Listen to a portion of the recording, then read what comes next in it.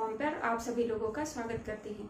दोस्तों, आज मैं एक बार फिर से आपके सामने एसएसटी के वाटर रिसोर्सेज चैप्टर का सेकंड पार्ट लेकर आई हूँ। इस पार्ट में हम लोग Damodar valley project Hirakud project ही साथ इस चैप्टर के जो बाकी हुए बचे मल्टीपर्पज प्रोजेक्ट हैं, उनके बारे में पढ़ेंगे। लास्ट लेक्चर में हम लोगों ने चैप्टर का इंट्रोडक्शन वाटर मैनेजमेंट और भाखरा नांगल प्रोजेक्ट के बारे में पढ़ लिया था। बिना किसी देरी के चैप्टर स्टार्ट करते हैं। इस चैप्टर का अगला प्रोजेक्ट है दामोदर वैली प्रोजेक्ट इस प्रोजेक्ट का पहला पॉइंट आता है इसके कंस्ट्रक्शन से संबंधित, यानी इस प्रोजेक्ट का निर्माण 1948 में हुआ था। जैसा कि हमें मालूम है कि हमारे देश को फ्रीडम 1947 में मिला था तो इस प्रकार यह इंडिपेंडेंट इंडिया का पहला प्रोजेक्ट है, यानी it is first important project of independent India अब यह इम्पोर्टेंट क्यों है? क्योंकि आज़ादी के बाद हमारे लिए सबसे बड़ा टास्क था हमारा डेवलपमेंट यानी कि हमारा विकास। और साथ ही साथ हमारे देश की जो पॉपुलेशन थी, उसके लिए अलग अलग तरह की रिक्वायरमेंट को फुलफिल करना, जैसे पीने का पानी इलेक्ट्रिसिटी और एग्रीकल्चर में सुविधाएँ प्रदान करना, ये अलग अलग तरह के काम थे। शायद आपको पता हो कि जब हमारा देश आज़ाद हुआ था तो उस समय 90 परसेंट पॉपुलेशन एग्रीकल्चर पर डिपेंडेंट थी। तो इसलिए इन सब परेशानियों से निकलकर अपने देश को विकास के रास्ते पर लाने के लिए हमारी देश की सरकार ने अलग अलग तरह की स्कीम और प्लानिंग्स चलाई, और जिसमें सबसे पहला नाम आता है दामोदर वैली प्रोजेक्ट का। अब इस टॉपिक का अगला पॉइंट आता है रिवर कि कौन सी रिवर पर यह प्रोजेक्ट सिचुएटेड है? तो आपका आंसर है Damodar river Damodar river is defamed for its uncertain route flood and soil erosion इसके बारे में मैं एक बात बता देती हूँ कि दामोदर रिवर को बंगाल का शोक कहा जाता है या बंगाल सोरो कहा जाता है? इस रिवर को बंगाल का शोक क्यों कहा गया? Because of its uncertain route means कि इस नदी का कोई फिक्स रूट नहीं है और यह जल्दी जल्दी अपने डायरेक्शन को बदलती रहती है। जब कोई भी नदी अपने डायरेक्शन को लगातार बदलती रहेगी तो उसमें फ्लड आने के चांसेस ज़्यादा होंगे और फ्लड आने के साथ साथ जब नदी में वाटर फ्लो ज़्यादा होगा तो उसके थ्रू सॉयल इरोजन भी सबसे ज़्यादा होगा। इन्हीं तीन रीजन की वजह से इस नदी को बंगाल का सौरो या बंगाल का शोक कहा जाता है। जैसे जैसे किसी कमी के कारण कोई बदनाम होता है, वैसे ही इन तीनों ड्रॉबैक्स के कारण यह नदी भी बंगाल सोरो के नाम से डिफेम्ड यानी बदनाम है।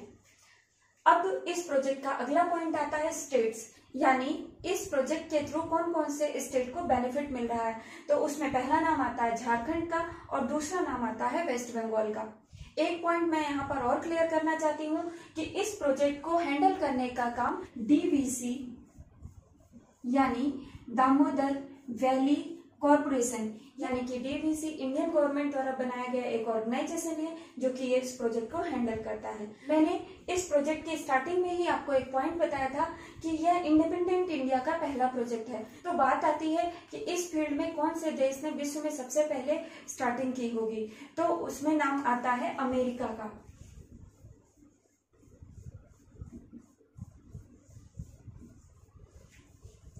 अमेरिका में एक टेनिसी नदी है और विश्व में सबसे पहले मल्टीपर्पज प्रोजेक्ट्स पर काम करने की शुरुआत अमेरिका ने की थी। या आप यूँ कह सकते हैं कि विश्व में सबसे पहला मल्टीपर्पज प्रोजेक्ट्स बनाने का काम अमेरिका ने किया था और उसने इस प्रोजेक्ट को टेनिसी नदी पर बनाया था और उसके लिए जो ऑर्गेनाइजेशन बनाया गया था वो टीवीसी था। टीवीसी मतलब टेनिसी वैली कॉरपोरेशन। और इसी से इंस्पायर्ड होके फ्रीडम के बाद हमारे देश की सरकार ने भी एक प्रयास किया मल्टीपर्पज प्रोजेक्ट बनाने का और उसको हैंडल करने के लिए एक ऑर्गेनाइजेशन बनाया जिसका नाम डीवीसी था। मैंने आपको पिछले क्लास में ही बताया था कि जब किसी रिवर का वाटर फ्लो तेज होता है तो डैम बनाकर उसके फ्लो को रोका जाता है और उसे कई छोटी छोटी नदियों के रूप में डाइवर्ट कर दिया जाता है।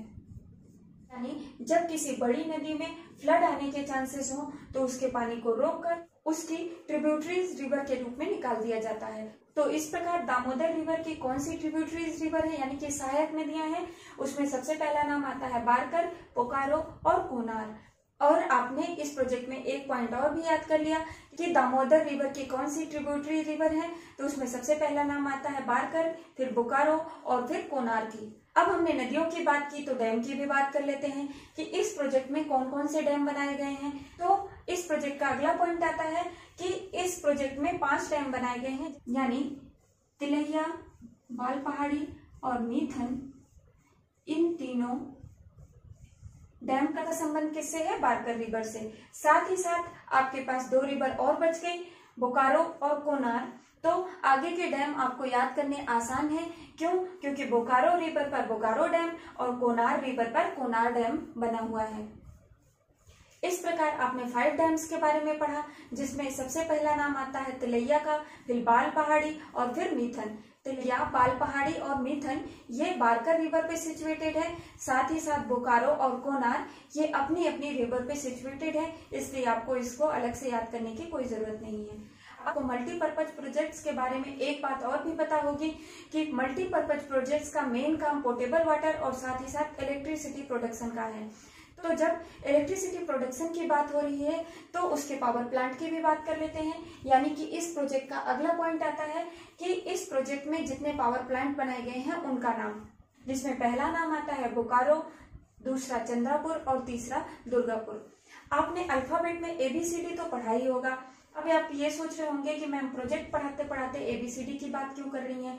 क्योंकि आपको पावर प्लांट याद भी तो कराना है। वो कैसे? वो इस तरह कि अल्फ़ाबेट में ए के बाद क्या आता है? बी बी के बाद सी और सी के बाद डी तो इस तरह से आप तीन प्रोजेक्ट बी सी डी के थ्रू याद कर सकते हैं। B for Bokaro C for Chandrapur और डी फॉर दुर्गापुर। अब इस प्रोजेक्ट का लास्ट पॉइंट आता है जो कि मैंने यहाँ पर मेंशन नहीं किया है, क्योंकि ये पॉइंट हर एक प्रोजेक्ट में कॉमन है, वो है ऑब्जेक्टिव्स का। ऑब्जेक्टिव इन द सेंस कि इस प्रोजेक्ट से कौन कौन से बेनिफिट मिल रहे हैं, या इस प्रोजेक्ट को बनाने का क्या मोटिव है। उसमें सबसे पहला नाम आता है प्रोवाइड पोर्टेबल वाटर यानी हमको पीने योग्य शुद्ध पानी प्राप्त कराना। और दूसरा पॉइंट आता है फैसिलिटेट इन इरिगेशन यानी इन प्रोजेक्ट के माध्यम से हमको सिंचाई में भी सुविधा मिलती है, क्योंकि इन प्रोजेक्ट के थ्रू जो हम ट्रिब्यूटरीज रिवर या लेफ़्ट कैनल निकालते हैं, वो छोटे छोटे गाँव, शहरों, कस्बों में जाकर इरिगेशन के काम को और आसान बनाते हैं। और उसके बाद अगला पॉइंट आता है इलेक्ट्रिसिटी यानी इन प्रोजेक्ट के थ्रू हम इलेक्ट्रिसिटी का भी प्रोडक्शन आसानी से कर रहे हैं। और लास्ट में अगला पॉइंट आता है इकोनॉमिक डेवलपमेंट इस तरह से हर प्रोजेक्ट के चार ऑब्जेक्टिव हैं portable water irrigation electricity production और लास्ट में इकोनॉमिक डेवलपमेंट जिसको मैंने इजी वे में आपको लास्ट लेक्चर में याद करा दिया था। और ये सारे ऑब्जेक्टिव आपके हर एक टॉपिक में कॉमन होंगे। तो एक बार फिर से दामोदर वैली प्रोजेक्ट को रिवाइज कर लेते हैं। दामोदर वैली प्रोजेक्ट का निर्माण 1948 में हुआ था, यानी हमारी फ्रीडम के बाद सबसे पहले बनने वाला multipurpose project Damodar valley project था। अगला पॉइंट आता है it is the first important project of independent India ये वही बात हुई। और नेक्स्ट पॉइंट आता है, कि यह प्रोजेक्ट किस रिवर पर सिचुएटेड है? तो दामोदर रिवर पे। और यह रिवर किसके लिए डिफेम्ड है? अनसर्टेन रूट फ्लड और सॉइल इरोजन के लिए। इसीलिए इस रिवर को बंगाल सौरो भी कहा जाता है। इसके बाद अगला पॉइंट आता है कि कौन कौन से स्टेट इस प्रोजेक्ट के थ्रू बेनिफिट ले रहे हैं। तो उसमें दो स्टेट का नाम आता है, पहला झारखंड और दूसरा वेस्ट बंगाल। फिर इसके बाद नेक्स्ट पॉइंट आता है ट्रिब्यूटरी रिवर्स का। और मैंने आपको बताया था, इस प्रोजेक्ट में थ्री ट्रिब्यूटरी रिवर है, जिसमें सबसे पहला नाम आता है बारकर का। फिर बोकारो का, फिर कोनार का। इन थ्री ट्रिब्यूटरीज पे फाइव डैम सिचुएटेड है, जिसमें पहला नाम आता है तिलैया बाल पहाड़ी और मीथन, जो कि बारकर पे है, और बोकारो और कोनार, ये सेम नदी के ऊपर है, इसलिए इसको अलग से याद करने की ज़रूरत नहीं है। और लास्ट पॉइंट आता है थ्री पावर प्लांट जिसमें बोकारो, चंद्रापुर और दुर्गापुर, मैंने एबीसीटी से आपको याद करा दिया था। और last but not least objective point जो कि सब में कॉमन है, उसमें मैंने आपको चार चीज़ बताई थी portable water irrigation economic development और इलेक्ट्रिसिटी प्रोडक्शन दोस्तों, इसके बाद मैं आपको अगले टॉपिक पर ले चलती हूँ जो कि हीराकुंड प्रोजेक्ट है। हीराकुंड प्रोजेक्ट के बारे में सबसे इम्पोर्टेंट बात है कि यह हमारे देश का सबसे लंबा डैम है और इस पिक्चर में आपको आसानी से दिख रहा होगा कि इसकी लंबाई कितनी ज़्यादा है और यह अपने आप में बहुत विशाल और बहुत बड़ा डैम है। तो जिस तरह से आपने भाखरा नंगल को बिगेस्ट डैम याद किया था, उसी तरह से आप हीराकुंड डैम को लॉन्गेस्ट डैम के रूप में याद करेंगे। और जब बात आई कि ये लॉन्गेस्ट डैम है तो उसकी लेंथ कितनी होगी? तो 14 टू 15 किलोमीटर। किसी बुक में आपको 14 किलोमीटर मिलेगा और किसी में 15 किलोमीटर मिलेगा। तो आपको इस डैम की लेंथ 14 टू 15 किलोमीटर याद रखनी है। अब इस प्रोजेक्ट का अगला पॉइंट आता है स्टेट स्टेट में आपको सिर्फ़ एक ही स्टेट याद रखना है, जो कि उड़ीसा। अब बारी आती है इस प्रोजेक्ट के अगले पॉइंट की, कि यह प्रोजेक्ट किस रिवर पर सिचुएटेड है? तो यहाँ पर नाम आता है महानदी पर। जैसे मैंने आपको पिछले प्रोजेक्ट में दामोदर के बारे में बताया था कि बंगाल सौरो है, ठीक उसी प्रकार महानदी को भी उड़ीसा का सौरो कहा जाता है। यानी यह नदी भी उड़ीसा के शोक के रूप में भी बदनाम है। और किन कारणों से डिफेम्ड है? तो लिखा है defamed for flood in monsoon season यानी मानसून सीज़न में आने वाले फ्लड के कारण यह नदी उड़ीसा में बहुत ही बड़े स्तर पर तबाही मचा देती है। इसीलिए इस नदी को उड़ीसा सौरों के नाम से भी जाना जाता है। जब हमने नदी की बात की तो डैम की भी बात कर लेते हैं। इस प्रकार इस प्रोजेक्ट का अगला पॉइंट आता है डैम। और इस प्रोजेक्ट में दो डैम बनाए गए हैं, पहला टीकरपारा और दूसरा नाराज़। आपके लिए राहत की बात यह है कि आपको इस प्रोजेक्ट में दो ही डैम याद रखने हैं, पहला टीकरपारा और दूसरा नाराज़। और जब डैम की बात की तो नहरों की भी बात कर लेते हैं। यानी अब मैं आपको इस प्रोजेक्ट के नेक्स्ट टॉपिक की तरफ़ ले चलती हूँ, यानी कि कैनल्स इस प्रोजेक्ट में तीन कैनल बनाए गए हैं। पहला बोरगढ़, फिर सेसन और फिर संबलपुर। बोरगढ़, सेसन और संबलपुर। अब बारी आती है इस प्रोजेक्ट के लास्ट पॉइंट की, यानी कि ऑब्जेक्टिव चलिए मैं एक बार फिर से रिवाइज कर देती हूँ। Provide portable water irrigation electricity production और इकोनॉमिक डेवलपमेंट जो कि आप हर प्रोजेक्ट में पढ़ते आ रहे हैं। दोस्तों, यहाँ पे मैं आपको एक छोटी सी ट्रिक बताती हूँ, जिसके थ्रू आप इस प्रोजेक्ट को इस रिवर से कनेक्ट कर सकते हैं। प्रोजेक्ट का नाम हीराकुंड डैम और यह किस नदी पे सिचुएटेड है? महानदी पर। इस बात को आप ऐसे याद रख सकते हैं कि हीरा एक प्रीसियस जेम्स है, यानी कि बहुत कीमती रत्न है। और जब ये बहुत ही कीमती है तो ये महान तो होगा ही। यानी हीरा महान होने के कारण हीराकुंड डैम किस रिवर पर? महानदी पर। इस तरह से मैंने इस प्रोजेक्ट के मेन मेन पॉइंट आपके सामने रखे और आपको याद कराने की कोशिश की। तो चलिए एक बार फिर से रिवाइज कर लेते हैं। इस प्रोजेक्ट का पहला पॉइंट आता है। It is the longest dam of India यानी यह भारत का सबसे लंबा डैम है। और जब लंबाई की बात आ रही है तो आपको इसकी लंबाई याद रखनी है, जो कि 14 टू 15 किलोमीटर है। अब बारी आती है स्टेट की, यानी यह प्रोजेक्ट उड़ीसा के संबलपुर डिस्ट्रिक्ट में सिचुएटेड है। उसके बाद बारी आती है रिवर की, कि यह प्रोजेक्ट किस रिवर पे सिचुएटेड है, महानदी पर? और महानदी को उड़ीसा सारो कहते हैं। क्यों? क्योंकि मानसून के सीज़न में इस नदी में बहुत बाढ़ आती है और यह उड़ीसा में बहुत बुरी तरह तबाही मचा देती है। जब रिवर की बात आई तो डैम की भी बात कर लेते हैं। इस प्रोजेक्ट में दो डैम है, पहला टीकरपारा और दूसरा नाराज़। जब डैम की बात आई तो कैनल की भी बात कर लेते हैं। इस प्रोजेक्ट में थ्री कैनल है, पहला बोरगढ़, दूसरा सीज़न और तीसरा संबलपुर। साथ ही साथ ऑब्जेक्टिव में चार पॉइंट मैंने आपको याद ही करा दिए थे portable water irrigation electricity production और इकोनॉमिक डेवलपमेंट दोस्तों, अब मैं आपको इस टॉपिक के अगले प्रोजेक्ट चंबल वैली प्रोजेक्ट की तरफ़ ले चलती हूँ। और इस प्रोजेक्ट का पहला पॉइंट आता है कि 1953 में इस प्रोजेक्ट को स्टार्ट किया गया था। और नेक्स्ट पॉइंट आता है कि इस प्रोजेक्ट का बेनिफिट कौन कौन से स्टेट को मिल रहा है। तो उसमें नाम आता है एमपी और राजस्थान का। और इस प्रोजेक्ट का नेक्स्ट पॉइंट कि यह प्रोजेक्ट किस रिवर पर सिचुएटेड है? तो चंबल रिवर पर। जब रिवर की बात आ गई तो डैम की भी बात कर लेते हैं। यानी कि इस प्रोजेक्ट का नेक्स्ट पॉइंट इस प्रोजेक्ट में फोर डैम बनाए गए हैं, जिसमें पहला डैम आता है गांधी सागर डैम जो कि एमपी के मंदसौर ज़िले में है। इसके बाद नेक्स्ट राणा प्रताप सागर डैम जो कि चित्तौड़ में है। इसके बाद के नेक्स्ट दो डैम जवाहर सागर डैम और कोटा बैराज डैम कोटा में है। यानी कि इस प्रोजेक्ट में बने फोर डैम में से एक एमपी में है, जो कि गांधी सागर डैम है, और रेस्ट थ्री डैम्स वो राजस्थान में है। इसको याद कैसे करेंगे आप कि राणा प्रताप का संबंध कहाँ से था? चित्तौड़ से। इसलिए राणा प्रताप सागर डैम कहाँ पे है? चित्तौड़गढ़ में। और अगले दो डैम जवाहर सागर डैम और कोटा बैराज डैम कोटा से है। कोटा बैराज डैम को कोटा के नाम से आप याद कर सकते हैं।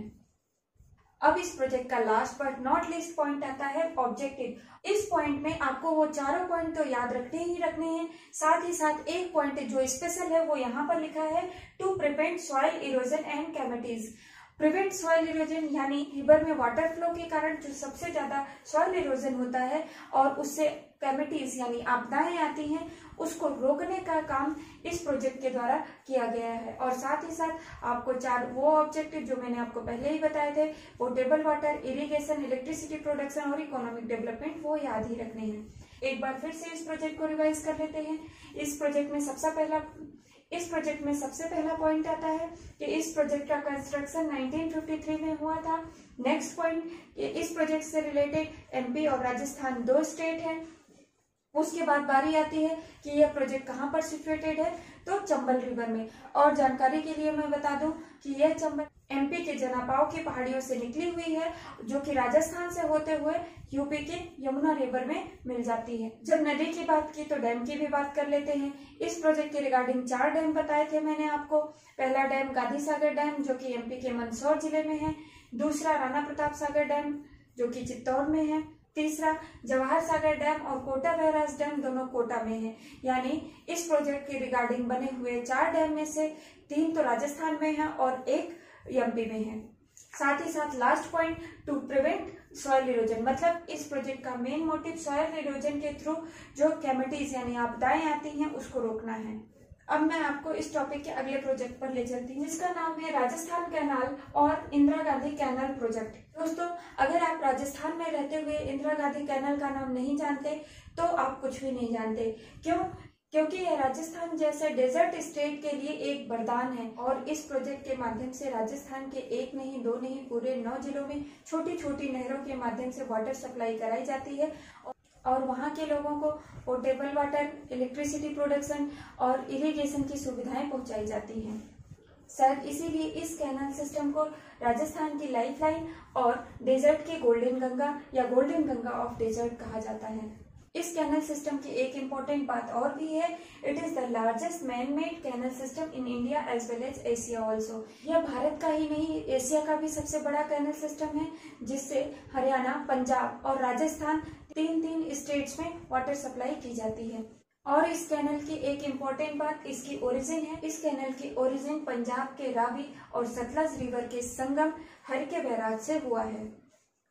अब इस प्रोजेक्ट का अगला पॉइंट आता है पर्पज पर्पज को बताने से पहले मैं आपको एक बात क्लियर करना चाहती हूँ कि सपोज़ दैट ये राजस्थान का मैप है और यहाँ पे पंजाब स्टेट है, यहाँ पे हरियाणा। यह कैनल पंजाब से होता हुआ राजस्थान के पूरे नॉर्थ वेस्ट एरिया में बाड़मेर तक जाता है। जो राजस्थान का मेन डेजर्ट एरिया है, वह इसका नॉर्थ और वेस्ट पोर्शन है। नॉर्थ से वेस्ट की तरफ़ जो ज़िले आते हैं, उसमें पहला नाम आता है गंगानगर का फिर बीकानेर, फिर जैसलमेर और फिर बाड़मेर। यानी इस प्रोजेक्ट के माध्यम से इन चार जिलों में मुख्य रूप से सुविधाएँ पहुंचाई जाती हैं। और वो सुविधाएँ कौन सी हैं?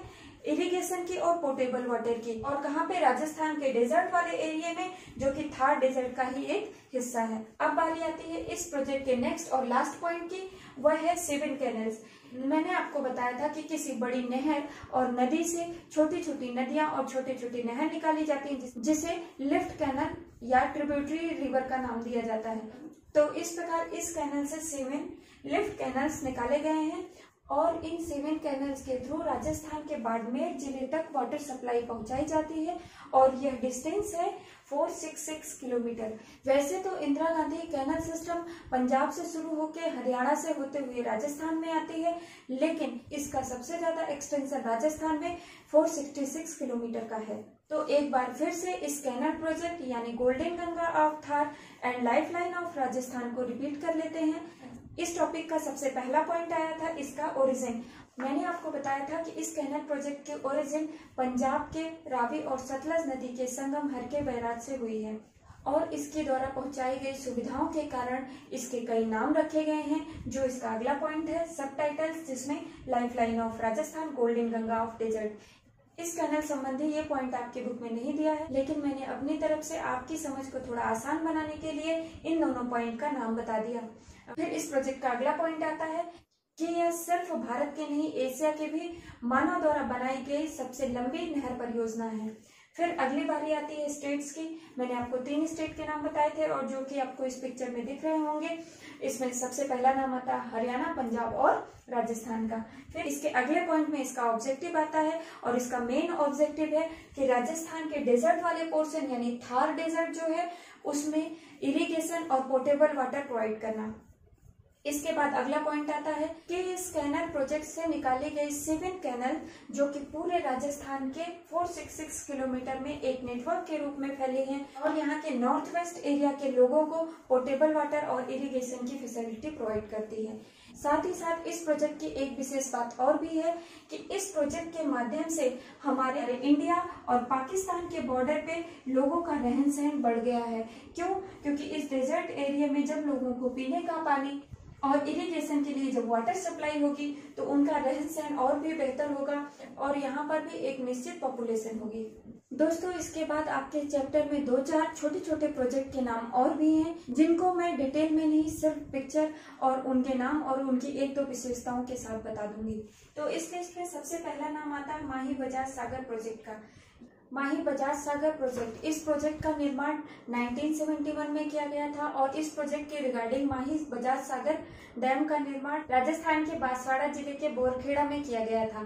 साथ ही साथ इस प्रोजेक्ट में कडाना नाम का एक डैम और बनवाया गया था जो कि गुजरात में है।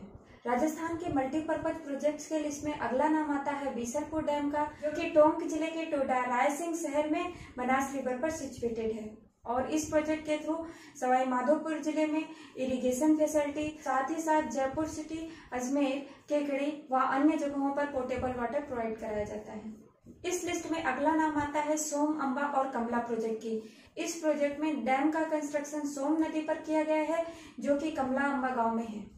और इस प्रोजेक्ट के माध्यम से डूंगरपुर के आसपुर और उदयपुर के सनुम्बर तहसील में इरिगेशन फैसिलिटी प्रोवाइड कराई जाती है। और इस लिस्ट में अगला नाम आता है मेजर डैम का, जो कि भीलवाड़ा के मांडलगढ़ तहसील में कोठारी नदी पर सिचुएटेड है। और इस प्रोजेक्ट के माध्यम से फिशरीज यानी मछली पालन की सुविधाएँ प्रोवाइड कराई जाती है। और राजस्थान के मल्टीपर्पज प्रोजेक्ट की लिस्ट में लास्ट नाम आता है नर्मदा प्रोजेक्ट का। इस प्रोजेक्ट के रिगार्डिंग सरदार सरोवर डैम का निर्माण कराया गया है जो कि नर्मदा नदी पर सिचुएटेड है। इस डैम को इस प्रोजेक्ट से कनेक्ट करने का एक आसान तरीका है। आ, इसके लिए मैं आपको एक ट्रिक बताती हूँ कि सरदार लोग बहुत ही नरम और पोलाइट नेचर के होते हैं। यानी कि सरदार सरोवर डैम कौन सी नदी पर सिचुएटेड है? नर्मदा नदी पर। और यह किस प्रोजेक्ट के रिगार्डिंग बनाया गया है? नर्मदा प्रोजेक्ट के रिगार्डिंग बनाया गया है। डियर स्टूडेंट्स इसी के साथ मैंने इंडिया के साथ साथ राजस्थान में चल रहे मल्टीपर्पज प्रोजेक्ट्स के बारे में आपको बताया और अपनी पूरी कोशिश की है कि साथ में पढ़ते पढ़ते आपको ये प्रोजेक्ट्स याद भी हो जाए। जहाँ मुझे लगा, वहाँ पर मैंने आपको ट्रिक के माध्यम से ये चीज़ें आसान तरीके से याद कराने की कोशिश की। साथ ही साथ, आपकी बुक में ये प्रोजेक्ट्स बहुत ही डिटेल में दिए गए हैं, पर मैंने पूरी कोशिश की कि इसके मेन मेन पॉइंट को इस तरह से आपके सामने ला सकूँ और आपको ये टॉपिक याद करा सकूँ। और इसके साथ ही आपके दिमाग में जो एसएसटी को लेके फोबिया है, उसको दूर हटा सकूँ। अगर आपको ये मेरा प्रयास अच्छा लगा हो तो वीडियो को लाइक करें और अगर मेरे इस लेक्चर के रिगार्डिंग आपके कोई सजेशन है तो उसे कमेंट बॉक्स में ज़रूर लिखें। आपका ये एफर्ट ही हमें मोटिवेशन देता है। इसी के साथ लेक्चर कंप्लीट करते हैं। Bye bye take care have a nice time now thanks for watching the video और हमारी सभी अपकमिंग अपडेट पाने के लिए चैनल को सब्सक्राइब करें। Till then, keep watching. Thank you once again.